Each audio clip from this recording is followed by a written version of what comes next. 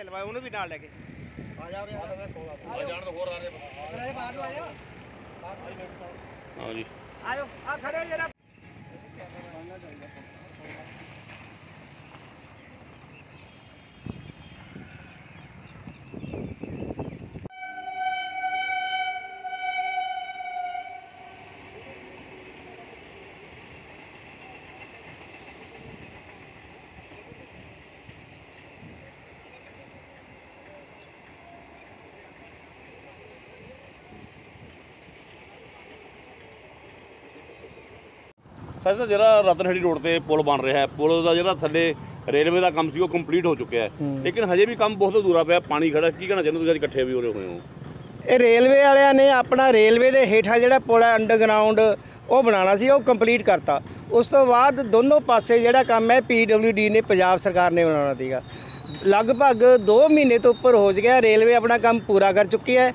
ਪਰ ਪੀਡਬਲਯੂਡੀ ਵਾਲਿਆਂ ਨੇ ਹਲੇ ਤੱਕ ਆਪਣਾ ਕੰਮ ਨਹੀਂ ਸਟਾਰਟ ਕੀਤਾ। ਲੋਕਾਂ ਨੂੰ ਬੜੀ ਪਰੇਸ਼ਾਨੀ ਆਉਂਦੀ ਹੈ ਇੱਥੇ ਜਦ ਫਾਟਕ ਬੰਦ ਹੁੰਦੇ ਨੇ। ਔਰ ਫਾਟਕ ਵੀ ਕਈ ਕਈ ਘੰਟਾ ਬੰਦ ਰਹਿੰਦੇ ਨੇ। ਪੀਡਬਲਯੂਡੀ ਵਾਲਿਆਂ ਨੂੰ ਪਤਾ ਲੱਗਿਆ ਵੀ ਉਹ ਤਾਂ ਨਹੀਂ ਇੱਥੇ ਕੰਮ ਕਰ ਸਕਦੇ। ਵੀ ਨਗਰ ਕੌਂਸਲ ਇੱਥੇ ਆਪਣਾ ਸੀਵਰੇਜ ਦਾ ਗੰਦਾ ਪਾਣੀ ਸਿੱਟ ਰਿਹਾ ਜੇ ਕਿਸੇ ਨੇ। ਇਹ ਨਹੀਂ ਚੱਕ ਰਹੀ। ਜੇ ਪੀਡਬਲਯੂ ਵਾਲੇ ਨੇ ਪੁੱਛੀਦਾ ਵੀ ਤੁਸੀਂ ਕਿਉਂ ਨਹੀਂ ਬਣਾਉਂਦੇ? ਕਹਿੰਦੇ ਨਗਰ ਕੌਂਸਲ ਇੱਥੋਂ ਪਾਣੀ ਚੱਕੇ ਤਾਂ ਅਸੀਂ ਕੰਮ ਸ਼ੁਰੂ ਹੋਏ। ਨਗਰ ਕੌਂਸਲ ਦੇ ਈਓ ਨੂੰ ਕਹਿੰਦੇ ਅਸੀਂ 4-5 ਚਿੱਠੀਆਂ ਲਿਖ ਚੁੱਕੇ ਹਾਂ ਵੀ ਇੱਥੋਂ ਪਾਣੀ ਬੰਦ ਕਰੋ ਤਾਂ ਕਿ ਅਸੀਂ ਪੁਲ ਦਾ ਕੰਮ ਸਟਾਰਟ ਕਰ ਚੁੱਕੀਏ ਪਰ ਨਗਰ ਕੌਂਸਲ ਇਹਦੇ ਵੱਲ ਕੋਈ ਧਿਆਨ ਨਹੀਂ ਦੇ ਰਹੀ। ਇਹ ਵਸਨੀਕੋਂ ਤੇ ਕੰਮ ਵੀ ਰੁਕਿਆ ਹੋਇਆ ਹੈ। ਇਹ ਜੀ ਲੈਨੋਪਾਰ ਏਰੀਆ ਦੇ ਲਈ ਇਹ ਜੋ ਪੁਲ ਬਣ ਰਿਹਾ ਬਹੁਤ ਵਧੀਆ ਫੈਸਿਲਿਟੀ ਹੈ ਪਰ ਇਹਨੂੰ ਕੰਮ ਕਰਨ ਨੂੰ ਜਿਹੜਾ ਇਹਦੀ ਸਪੀਡ ਹੈ ਉਹ ਰੇਲਵੇ ਆਪਦੇ ਟਾਈਮ ਨਾਲ ਵਧੀਆ ਸਪੀਡ ਨਾਲ ਕੰਮ ਕਰਕੇ ਚਲਿਆ ਗਿਆ। ਉਦੋਂ ਬਾਅਦ ਸਾਨੂੰ ਬਹੁਤ ਪ੍ਰੋਬਲਮ ਜੇ ਆ ਰਹੀਆਂ ਨੇ ਜਿਹਦੇ ਵਿੱਚ ਮਿਊਨਿਸਪਲ ਕੌਂਸਲ ਦਾ ਸੀਵਰੇਜ ਦਾ ਮੇਨਟੇਨੈਂਸ ਨਾ ਕਰਨਾ ਈਓ ਸਾਹਿਬ ਇਸ ਚੀਜ਼ ਨੂੰ ਇਗਨੋਰਿੰਗ ਕਰ ਰਹੇ ਨੇ, ਇੱਥੋਂ ਪਾਣੀ ਨਹੀਂ ਚਕਵਾ ਰਹੇ। ਜਿਹੜਾ ਪਾਣੀ ਇੱਧਰ ਸਿੱਟਤਾ, ਇਸ ਪਾਣੀ ਨੂੰ ਅਗਰ ਚੱਕਿਆ ਜਾਵੇ ਤਾਂ ਪੀਡਬਲਯੂਡੀ ਵਾਲੇ ਆਪਦਾ ਕੰਮ ਸ਼ੁਰੂ ਕਰ ਸਕਦੇ ਨੇ। ਮੌਨਸੂਨ ਆ ਰਹੀ ਹੈ, ਫਿਰ ਇੱਕ ਹੋਰ ਬਹਾਨਾ ਮਿਲ ਜਾਣਾ ਇਹਨਾਂ ਨੂੰ ਕਿ ਹੁਣ ਮੌਨਸੂਨ ਆ ਗਈ, ਪਾਣੀ ਫੇਰ ਭਰ ਗਿਆ, ਕੰਮ ਫਿਰ ਬੰਦ ਹੋ ਜਾਊਗਾ। ਇਹ ਬਹੁਤ ਵੱਡੀ ਪ੍ਰੋਬਲਮ ਹੈ। ਮੌਨਸੂਨ ਆਉਣ ਤੋਂ ਪਹਿਲਾਂ ਪਹਿਲਾਂ ਇਹਨੂੰ ਖਤਮ ਕਰਨਾ ਬਹੁਤ ਜ਼ਰੂਰੀ ਹੈ। ਪੀਡਬਲਯੂਡੀ ਔਰ ਮਿਊਨਿਸਪਲ ਕੌਂਸਲ ਨੂੰ ਕੰਬਾਈਨਡ ਮੀਟਿੰਗ ਕਰਕੇ ਇਹਦਾ ਕੋਈ ਨਾ ਕੋਈ ਹੱਲ ਕੱਢ ਕੇ ਇਹਨੂੰ ਤੁਰੰਤ ਸ਼ੁਰੂ ਕਰਨਾ ਚਾਹੀਦਾ ਔਰ ਬਹੁਤ ਸਪੀਡ ਨਾਲ ਇਹਨੂੰ ਪੂਰਾ ਕਰਨਾ ਚਾਹੀਦਾ। ਕੀ ਨਾਮ ਹੈ ਤੁਹਾਡਾ? ਬਲਵੀਰ ਚੰਦ ਜੀ। ਦੇ ਵਿੱਚ ਰਤਨਹੜੀ ਫਾਟਕਾਂ ਦੇ ਉੱਪਰ ਪੁਲ ਦਾ ਨਿਰਮਾਣ ਹੋ ਰਿਹਾ ਸੀਗਾ।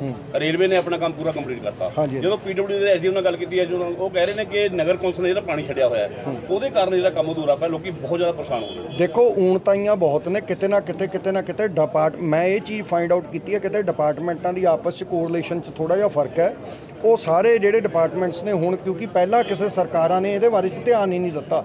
ਹੁਣ ਜਦੋਂ ਸਰਕਾਰ ਪਲਟੀ ਹੈ ਹੁਣ ਇਹ ਸਾਰੇ ਮਹਿਕਮਿਆਂ ਦੇ ਨਾਲ ਜਿੱਥੇ ਇੱਥੇ ਕਿਹੜੇ ਕਿਹੜੇ ਮਹਿਕਮੇ ਨੂੰ ਕਿਸ ਮਹਿਕਮੇ ਦੇ ਨਾਲ ਕੋਆਰਡੀਨੇਟ ਕਰਨ ਦੇ ਵਿੱਚ, ਆਪਸ ਚ ਕੋਆਪਰੇਸ਼ਨ ਕਰਨ ਦੇ ਵਿੱਚ ਦਿੱਕਤ ਆ ਰਹੀ ਹੈ, ਉਹ ਸਾਰੀਆਂ ਦਿੱਕਤਾਂ ਦਾ ਹੱਲ ਕੀਤਾ ਜਾਊਗਾ।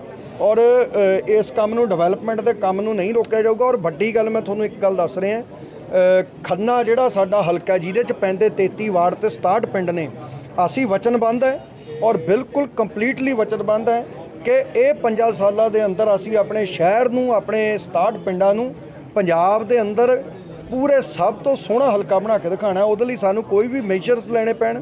ਕਿਸੇ ਵੀ ਮਤਲਬ ਕਿ ਡਿਪਾਰਟਮੈਂਟ ਦੇ ਨਾਲ ਸਾਨੂੰ ਬੈਠ ਕੇ ਚਾਹੇ ਲੰਬੀਆਂ ਮੀਟਿੰਗਾਂ ਕਰਨੀਆਂ ਪੈਣ।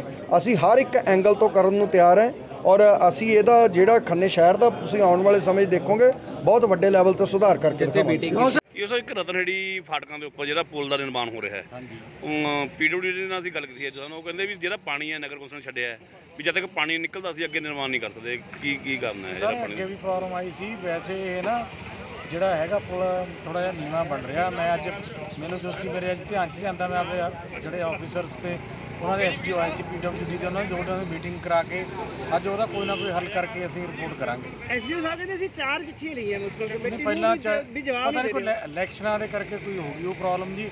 ਵੈਸੇ ਐਸਡੀਓ ਸਾਹਿਬ ਅੱਜ ਆਪ ਆਏ ਕਿ ਅਸੀਂ ਬੈਠ ਕੇ ਉਹਨਾਂ ਦਾ ਜਿਹੜੇ ਜੇਈ ਨੇ ਸਾਡੇ ਉਹਨਾਂ ਨੂੰ ਬਿਠਾ ਕੇ ਉਹਦਾ ਨਿਪਟਾਰਾ ਕਰ ਰਹੇ ਹਾਂ।